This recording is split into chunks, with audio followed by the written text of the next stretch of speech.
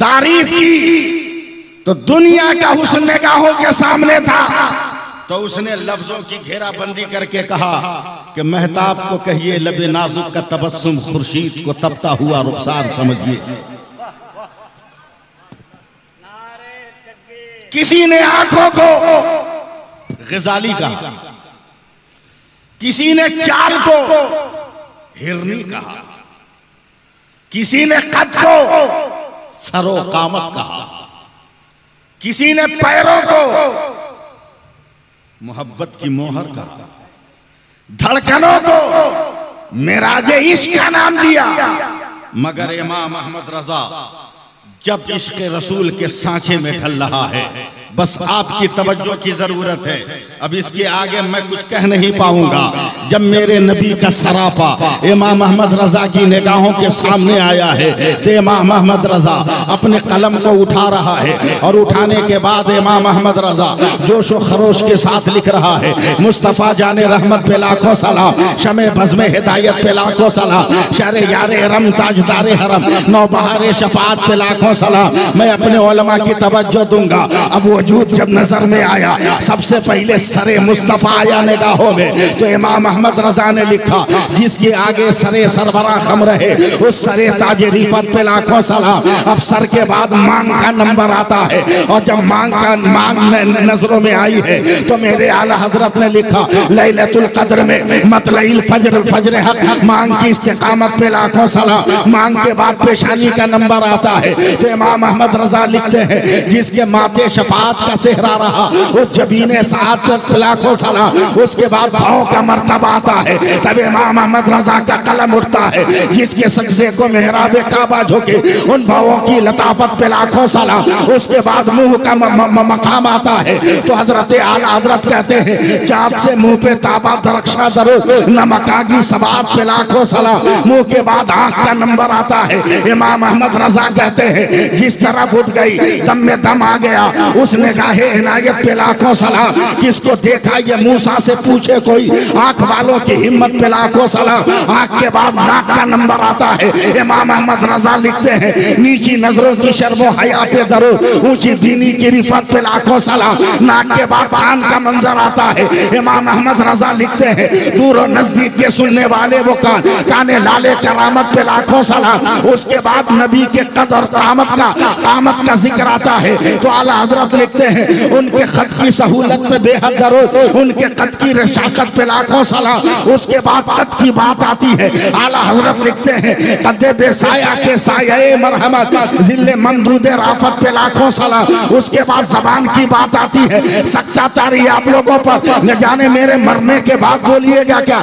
जब उसके बाद जबान की बात आती है, इमाम अहमद रजा कहते हैं, जिनके गुच्छे से लच्छे जड़े नूर के, उन सितारों की नुजरत पे लाखों सलाम। आँख के दांत के बाद, दांत के बाद जो है, जबान के बाद, जबान का नंबर आता है। इमाम अहमद रजा कहते हैं, वो जबान जिसको सब उनकी कुंजी कहे, उसकी नाफिज हुकूमत पे लाखों सलाम। जबान के बाद दांत का नंबर आता है, जिसके गुच्छे गुच्छे से लच्छे, जड़े नूर के, उन सितारों की नुजरत पे लाखों सलाम। दांत के बाद होठ का नंबर आता है। इमाम अहमद रजा लिखते हैं, पतली पतली गुले कुछ की पत्तियाँ, उन लबों की नजाकत पे लाखों सलाम। उसके बाद मुस्कुराहट की बात आती है।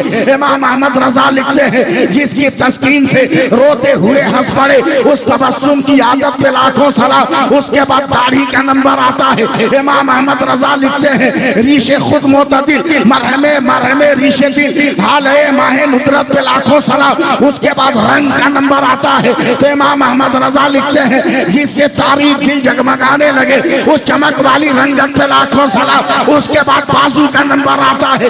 इमाम अहमद रजा लिखते हैं, जिसको बारे तो आलम की परवाह नहीं, ऐसे बाजू की कुत पे लाखों सलाम। उसके बाद जुल्फ का नंबर आता है, आला हज़रत लिखते हैं, वो गर्म की घटा के सुए मुश्क सा रहमत पे लाखों सलाम। उसके बाद मुँह की बात आती है। तो इमाम अहमद रजा लिखते हैं, वो देहन जिसकी हर बात वही खुदा। चश्मे हिकमत पे लाखों सलाम। जिसके पानी से शादाब जानो जानो जना उस दहन की तरावत पे लाखों सलाम। उसके बाद कंधे का नंबर आता है। इमाम अहमद रजा लिखते हैं, दोष पर दोष है। जिनसे शान शराब, ऐसे शानों की शौकत पे लाखों सलाम। अब कलाइयों की बात आई है। इमाम अहमद रजा कहते हैं काबे दीनों ईमा के दोनों सतु साइदीन रिसालत पे लाखों सलाम। हाथ का नंबर आया तो लिख दिया, हाथ जी संतुष्टा खली कर दिया मौज बारे समाज पे लाखों सलाम। हथेली की बात आई तो इमाम अहमद रजा ने लिखा, जिसके हर खत में मौजे नूर करम, उसको उस कफे पहरे हिम्मत पे लाखों सलाम। और जब उंगलियों की बात आई तो इमाम अहमद रजा ने लिखा, नूर के चश्म लहराए दरिया बहे, उंगलियों की करामत पे लाखों सलाम। और आखिर में ये कह दिया कि सरवर कहो कि मालिक हो मौला कहूँ तुझे यान बागे खलील का गुल नारे बच्चे भूख से बिलक रहे अम्मा अम्मा अम्मा अम्मा। आला हज़रत का फैजान लेना है तो मेरी गुफ्तगू सुनो।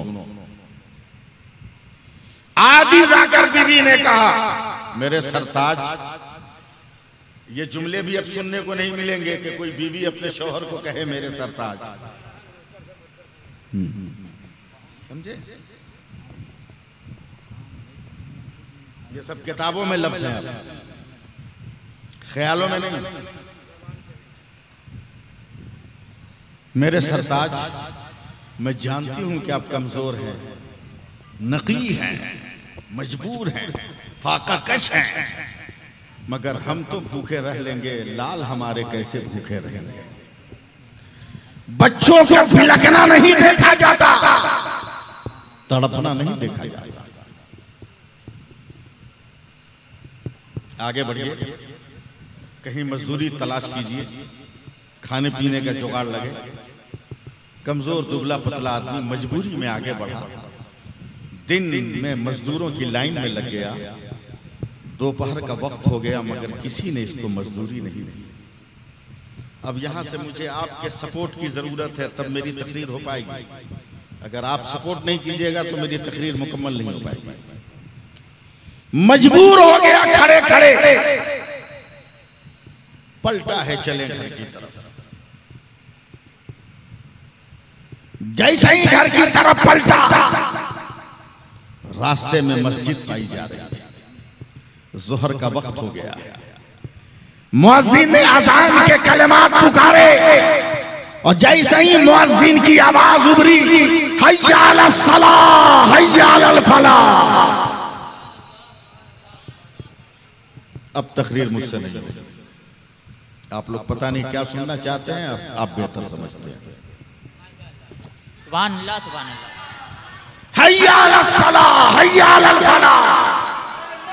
आओ नमाज़ की तरफ़, आओ कामयाबी की तरफ़। उदास, मजबूर, मफलूकुल हाल आदमी। घर जाकर क्या करेंगे? चला गया मस्जिद में। जोहर की नमाज़ पढ़ा। हम सुबहान अल्लाह कह देते हैं, आप नहीं बोलिएगा तो? सुभान अल्लाह। ला घर जाके क्या करेंगे? असर तक बैठा कुरान पढ़ता रहा वजीफा पढ़ता रहा। असर की नमाज़ पढ़कर चला घर। जैसे ही दरवाजे पर पहुँचा बेगम ने कहा सरताज कोई जुगाड़ लगा?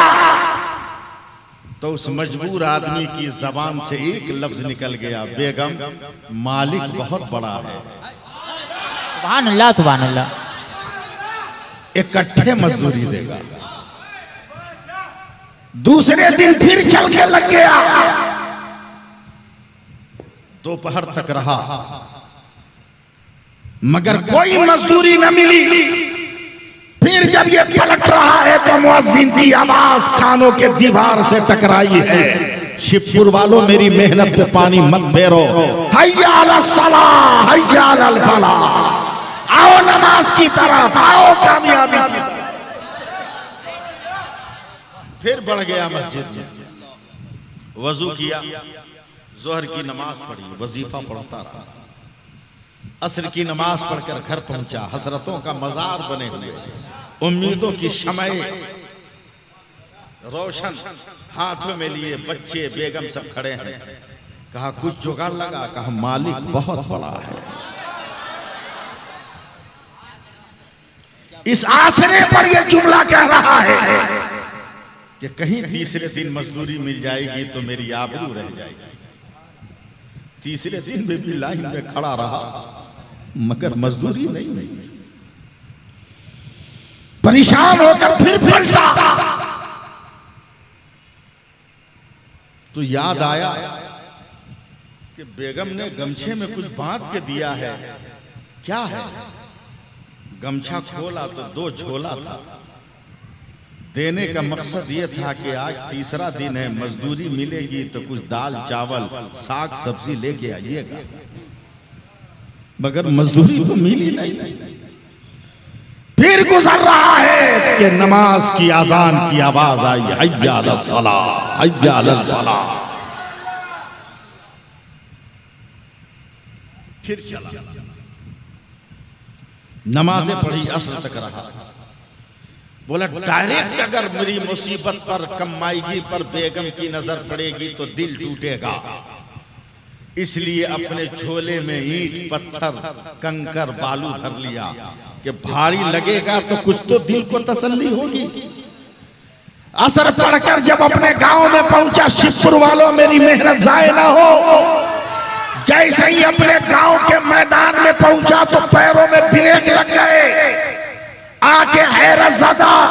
इसके दो चार बच्चे, जिनके कपड़ों में पैबंद लगाने की भी जगह न थी, वो नए कपड़े पहनकर मैदान में खेल रहे हैं। हैरानो, परेशान है कि मेरे बच्चों को कपड़े मिले कहाँ से? जैद, बकार, आमर, खालिद, मेरे बेटों। बच्चे दौड़े। अब्बा, क्या है? बोला नया नया कपड़ा। बोला अम्मा ने दिया है। माँ ने दिया है। घबराए हुए मकान की तरफ़ बढ़ा। तो जहाँ दस पंद्रह दिलों से चूल्हा नहीं जला था, उस आँगन से धुएँ का गुबार निकलता जा रहा है। दरवाजे में कदम रखा तो अनवाओ अकसाम की खिजा की खुशबू से रूह मुअत्तर हो गई। बरसों से मजबूरियों ने बेगम को नहाने न नहाने पे मजबूर किया था जैसे ही दरवाजे पे कदम रखा तो आज पुरान, हवेली पे भी रंगो रोगन चढ़ा हुआ था हाँ? हाँ। पुरानी हवेली पर भी रंगो रोगन चढ़ा था ये बूढ़ी औरत भी मेकअप वगैरह करके नए लिबास में एकदम तन के सलाम वालेकुम हुजूर बेगम ये लिबास ये नाज अदा ये होठों पे तबस्सुम के किरण। आँखों में ये बेबाकी। पेशानी की सिलवटे कहा रुखसत हो गई? कहा कसम खुदा की मेरे आका। सही आपने कहा था कि आपका मालिक बहुत बड़ा है। आपका मालिक बहुत बड़ा है। आपका मालिक बहुत बड़ा है। क्या मैं नहीं। समझा आज दोपहर को आपके मालिक ने एक आदमी को भेजा था। वो खाने पीने का बोरा का बोरा सामान लाया। हमारे लिए नया लिबास लेकर आया। और मुझसे उस मालिक के आपके मालिक के नौकर ने मुझसे कहा कि तेरा शौहर बड़ी ईमानदारी से काम कर रहा है। मजदूरी लेकर वो आएगा, ये हम बोनस लेकर आए हैं, ये इनाम लेकर आए हैं। हैरत से कहता है, बेगम बेगम, हमने कोई मजदूरी नहीं की है। हमने तो मस्जिदों में नमाज़ पढ़ी है। हमने तो अल्लाह का ज़िक्र किया है। हमने तो कुरान की तिलावत की है। यकीन ना हो तो झोला उलट कर दे वहाँ पत्थर कंकर निकलेंगे। जब उसने पलटा है तो हीरे जवाहरात के दरिया फजाओं से आवाज़ आने लगी ला तकनतु मिन रहमतिल्लाह हाय हाय हाय। नारे तकबीर नारे रिसालत मसल के आला हज़रत फैजान आला हज़रत खतीबुल हिंद हज़रत सैफुल्ला अलीमी साहब किबला। नारे तकबीर, नारे हैदरी। जिंदाबाद। इसलिए मुसलमानों, आला हज़रत का फैजान लेना है तो नमाजें पढ़ो। नमाजें पढ़ो। अल्लाह की राह पे चलो। अल्लाह की राह पर चलो। मिनटों में परवरदिगार आलम आपकी किस्मत का जाविया बदल देगा। आप नमाज़ पढ़ो, अपने रब पे भरोसा। आखिरी बात सुन लो, हिम्मत जवाब दे गई मेरी। एक घंटा हो भी गया। हलचल भाई, मैं आपको भी देख रहा हूँ। आपकी मेहनतों के फल को भी देख रहा हूँ। देख रहा हूँ कि पेड़ से फल के वजूद की मुताबिकत कितनी अच्छी है। हाँ,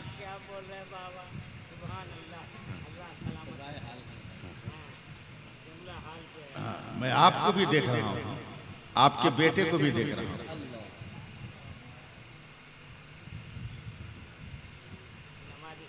जितनी किरण आपके तबस्सुम से निकल रही है उतनी ही किरण उसकी मुस्कुराहट से भी निकल रही है। यह अलग बात है कि आपके वजूद से निकलने वाली किरण जयीफी का शिकार है और उसके लबों से निकलने वाली किरण जवानी का शिकार है।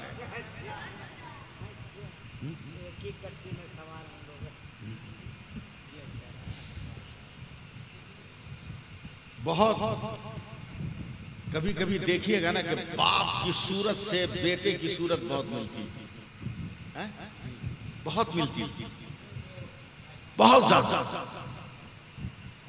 चल बहुत ज़्यादा। जैसे मेरी सूरत खुद मेरी सूरत मेरे वालिद से बहुत मिलती जुलती बहुत जो लोग देखे होंगे पुराने होंगे बूढ़े वो जानते होंगे। एक फकीर आया हज़रत फारूक आज़म रदी अल्लाह के पास। साथ में छोटा सा बेटा भी था। इस अलीफ मीम ये के जमाने में भारत में क्या करोगे?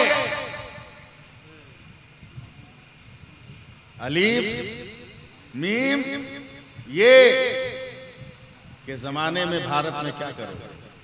समझो समझो मेरी बात। शिवपुर है शिवपुर। तीन हरफों ने पूरे भारत को पंचर करके रख दिया। तवज्जो दो इतना बाप और बेटे का चेहरा ऐसा मिल रहा था कि हज़रत फारूक आज़म जैसा साहबी एक टक टक दोनों बाप बेटा को देख रहे हैं। फकीर ने कहा, सरकार, क्या तवज्जो से देख रहे हैं? कहा, इतने बाप बेटा की मिलती जुलती सूरत आज तक हमने देखा नहीं था। बस तुमको देखूँ कि तेरे औलाद को देखूँ, दोनों तो एक ही चश्मा लग रहे हैं। वो फकीर कहता है, सरकार, इसकी पैदाइश के भी अजब मामला था बोला, क्या? तवज्जो से सुन लो ये आखिरी बात। क्या? बोला, जब ये पैदा नहीं हुआ था, माँ के पेट में था तो मेरे घर में कोई नहीं सिवाय मेरी बीवी के। मैं मुल्क शाम जा रहा था कारोबार करने तजारत करने तो बीवी से जब रुखसत होने लगा तो बीवी ने रोकर मेरी कलाइयाँ पकड़कर कहा कि इस हमल की हालत में मुझको छोड़ के क्यों जा रहे हैं? ए फारूक आज़म! मेरे मुँह से एक जुमला निकल गया कि टेंशन मत ले। मैं होने वाले बच्चे को अल्लाह के तवक्कुल पे छोड़ के जा रहा हूँ। सुबहान अल्लाह बोल। चंदा नहीं कर रहा हूँ। वरना चंदा करने पे आऊँगा ना तो कुर्ता पजामा सब खुलवा दूँगा।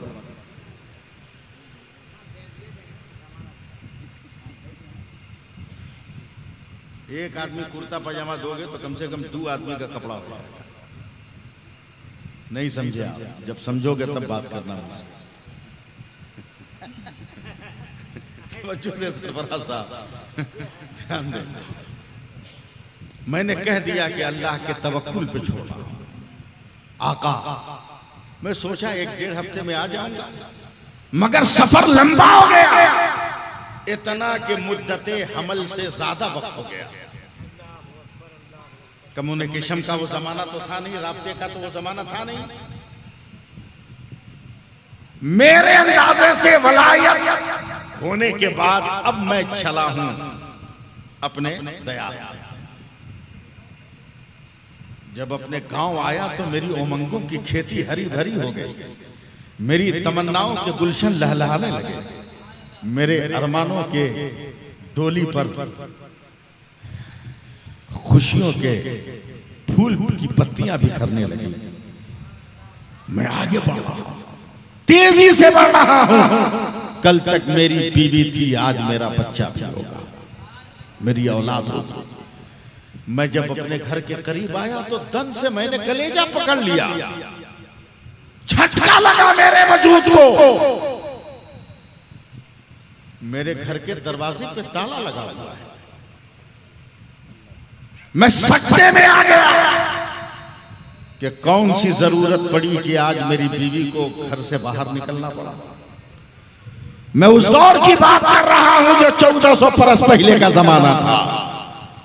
आज हम लोग अपने माशरे की बात ना करें। शौहर पेमेंट उठाकर बीवी को देता है जाओ मार्केट करके आओ। वो हैरत से कहता है कैसी मुसीबत आई कि मेरी बेगम घर से बाहर निकल गई।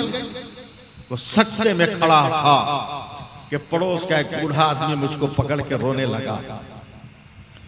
हिचकियाँ लेकर कहा बेटा तेरी दुनिया उजड़ गई। तेरे जाने के चंद दिनों के बाद तेरी बीवी के पेट में दर्द हुआ। हमने हक पड़ोसी अदा किया। मगर किसी इलाज से शिफा न दिलवा सका। तेरी बीवी हमल के साथ इंतकाल कर गई। मगर चंद महीनों के बाद तेरी बीवी की कब्र से कभी हंसने कभी रोने की आवाज़ आती है। रातों को कभी ऐसा लगता है जैसे कोई नूर की शीरी लगी हो और कोई चढ़ता उतरता हुआ नज़र आ रहा हो। जरा सा जरा सा जरा सा बोलो। मैं घबरा गया। गाँव के लोगों ने इकट्ठा कहा, किया का इस दौर के ओलमा से रबता कायम किया जाए कि कब्र को कैसे चेक किया जाए। उस दौर के ओलमा ने फतवा दिया कि कब्र खोदी जाए। चेक की जाए। है सैयदना फारूक आज़म मैंने अपनी बीवी की कब्र की मिट्टी हटाई। मेरी बीवी थी ना मैं करीब जा रहा था मगर बाकी लोगों को मैंने दूर रखा कि मरने के बाद भी कोई मेरी बीवी का चेहरा न देखे। आहा। मैंने मिट्टी हटाई। शिवपुर वालों जवान हो जाओ एक मिनट के लिए। मैंने मिट्टी हटाई। लकड़ी हटाकर जैसे ही कब्र में झांका तो मेरी हैरत की इंतहा न रही। एक बेटा अपने माँ के कफन को हटाकर उसके सीने से मुँह लगाकर दूध पीता नज़र आ रहा है। दूध पी रहा है। मैंने लपक के उस बच्चे को उठाना चाहा। तो गैब से आवाज़ आई मेरे बंदे तूने बच्चे को मेरे हवाले किया था। बच्चा मैंने तेरे हवाले कर दिया है। कसम मेरी कुदरत की। अगर तूने बीवी को भी हवाले किया होता तो आज तेरी शरीक हयात भी तेरे हवाले हो सुबहान अल्लाह सुबहान अल्लाह नारे तकबीर नारे रिसालत एतमाद रखें। फिर देखें कि अल्लाह कितनी अजमतें आपको दे रहा है। डर गए इधर भक्तियों में। डर गए थोड़ा सा सर्वे में। डर गए थोड़ा सा मार काट होने पर। भूल गए वो मजालिम जो मक्का के जालिमों ने मुसलमानों पे ढाए थे। मगर इस्लाम कल भी मुस्कुरा रहा था। इस्लाम आज भी मुस्कुरा रहा है और इस्लाम कयामत तक मुस्कुराता रहेगा। हलचल भाई, एकदम आखिरी चार मिसरे सुनिए। अगर आप खुदा पे भरोसा कर रहे हो तो कभी नहीं मरोगे। हज़रत जिस्म मरता है, किरदार ज़िंदा रहता है। और चार मिसरे सुन लो। सुना दो? सुबह अल्लाह को और मोहब्बत से बोलो। हलचल भाई तो कहीं और हाँ चार मिसरे सुनिए सुनाओ सुनाओ। तवक्कुल अल्लाह की बरकत, सुनाओ। चार मिसरे हज़रत। नवासे शहे मशरकैन ज़िंदा है। शेर बहुत सुने होंगे, मगर शेर से शेर सुनिए। अजमत भागलपुरी, शेर सुनिए। मैं शिवपुर में पढ़ रहा हूँ। समझे? जहाँ की बिल्लियाँ भी उर्दू बोलती हैं हाँ? तजर्बा कर लो आप? एक बिल्ली आपके दरवाजे के बाहर खड़ी बैठी हो, आप उसको रोटी का टुकड़ा दिखाइए। बहुत मुअद्दब लहजे में, अरबी उर्दू में बोलती है, मैं आऊँ? और वहाँ का आदमी उर्दू ना समझे।